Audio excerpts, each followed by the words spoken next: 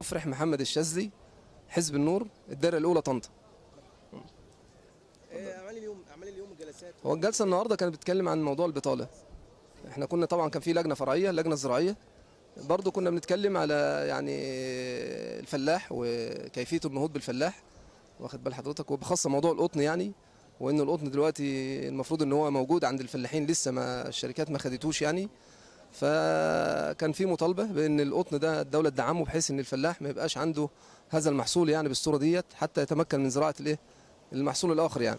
ده كان بالنسبة للجنة الزراعية. أما بالنسبة للجنة اللي هي لجنة مجلس الشعب النهارده كانت بتتكلم النهارده عن موضوع البطالة. فموضوع البطالة طبعا من أسباب البطالة أسباب كتيرة جدا من أسباب البطالة عدم التنسيق بين التعليم واخد بالك أنت وفرص العمل الموجودة خارج واخد بال حضرتك. يعني التعليم يجب أن هناك تنسيق بين التعليم وبين فرص العمل الموجودة في المجتمع. والسوق المحلية متطلبات آه سوق العمل. آه، برضو أيضا آه، إحنا طالبنا ب يعني الحد الحد الأقصى للأجور. الحد الأقصى للأجور لأن ده مهم جدا لأن لما يبقى في حد أقصى للأجور هيبقى في آه، عدالة اجتماعية. هيعم الزيادات دي كلها على الشباب اللي هو لم يعمل أو لم يلتحق بعمل. محمد محمود حسنين أسوان. عن دائرة أسوان إن شاء الله. ح... الأصالة الأصالة. مم. أهلا وسهلا بكم والله إحنا في طبعا في حوالي يمكن 300 طلب إحاطة هو تأجل الأسبوع اللي جاي إن شاء الله. للحكومة على أساس خطة الحكومة في المرحلة القادمة لحد النهاردة شوف إحنا عندنا قد إيه ما فيش أي خطة للحكومة. والمفروض خلال 60 يوم يكون في خطة مدروسة للحكومة في الفترة القادمة إن شاء الله.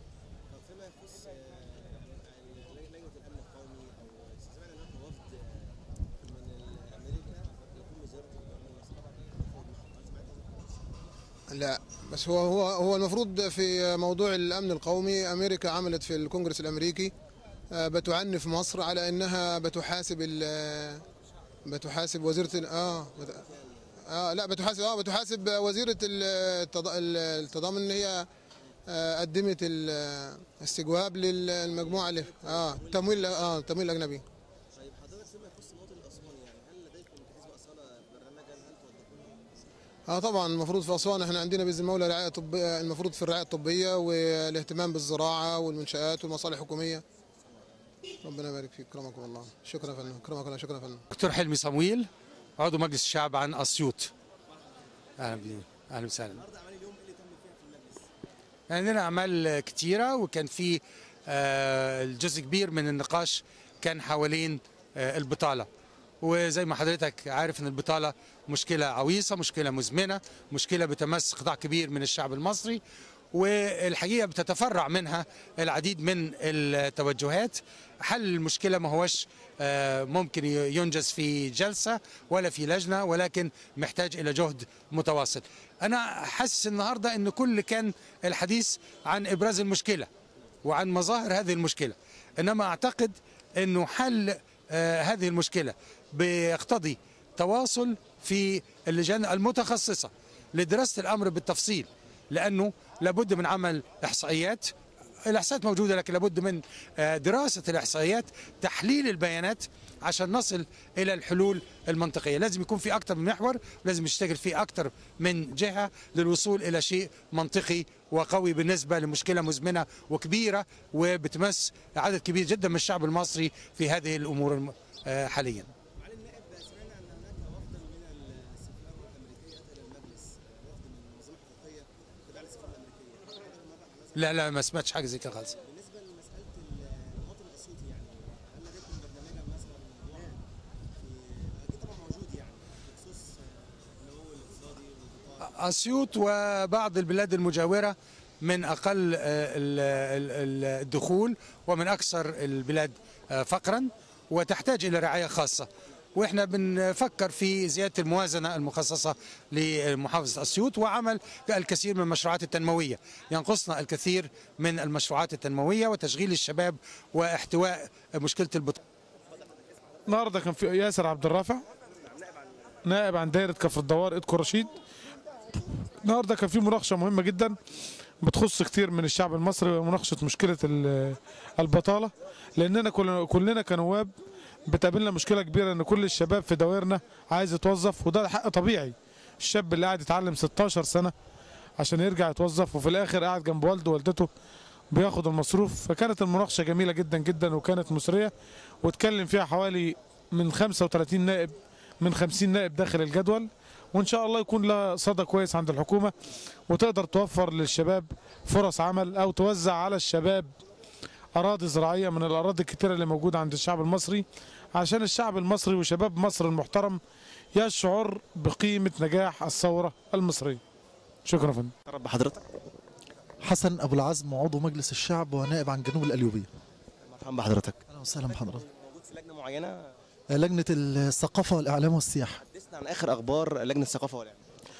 لجنة الثقافة والإعلام المواضيع فيها كتيرة خاصة كنا بن بنعالج آه، آخر اجتماع لينا النهارده كان مع السيد وزير الثقافة عشان آه، آه، نساعد في النهضة بثقافة الناس آه، في زماننا وخاصة من خلال منافذ أو قنوات وزارة الثقافة زي هيئة قصور الثقافة وهيئة ال- الهيئة العامة للكتاب وغيرها من من هذه الأمور يعني.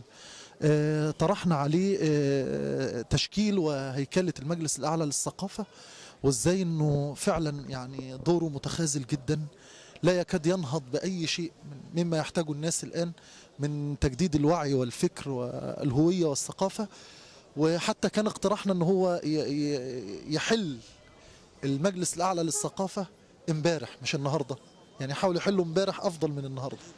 هو البديل يعيد تشكيلته من خلال أساتذة ورموز في الثقافة والإعلام. معلومي معلو- معروفين كويس جدا في مصر يستطيعوا أن ينهضوا بالأمة. الشخصية المصرية. طبعا يستطيعوا أن ينهضوا بال- بالأمة المصرية المسلمة الشرقية ال- الشرقية ثقافة الإسلامية هوية. آه، ينهضوا بيهم في رموز كتيرة لكن مش واخدة حقها. طبعا أنتوا عارفين جوائز الدولة التشجيعية كان مين اللي بياخدها في الأول. ف اعتراض من بعض ال- الناس يعني على على حول صرف أموال لل الصرف على الث- الثقافة وكده أموال في كتب يعني ليست لها فائدة آه، يعني ثقافية يعني متدنية جدا جدا. هل هناك مشروع يعني؟ آه هناك فعلا مشروع قانون لتنظيم حرية الصحافة والإعلام. آه، آه، أصلا كان المشروع اسمه مشروع تنظيم الصحافة فإحنا هنسميه مشروع تنظيم حرية الصحافة. لأن في جرائد كتيرة جدا بتكتب بتسخن الناس يعني بتودي الناس لهاوية بتوجههم توجهات خاطئة جدا. وفي آه، صحف بتكتب آه، كلام هادف وبناء وما بتاخدش حقها.